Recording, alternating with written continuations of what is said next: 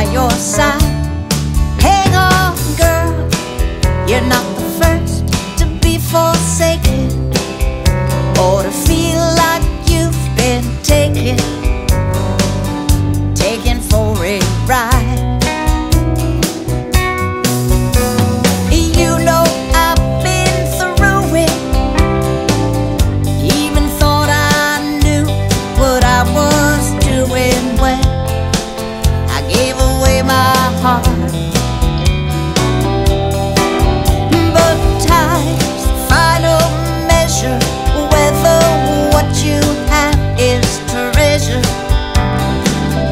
just the fleeting pleasure of his spot.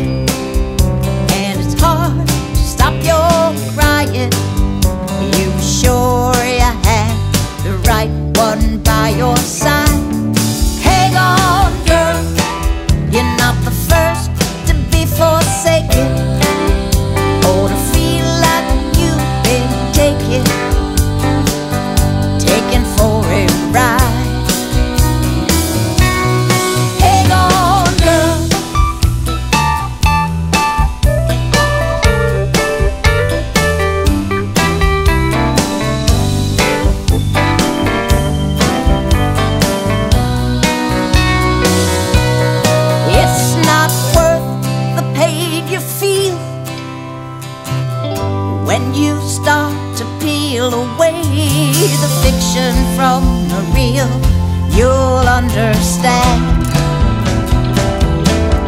That the love you gave so freely won't come back until you really love yourself more than your man.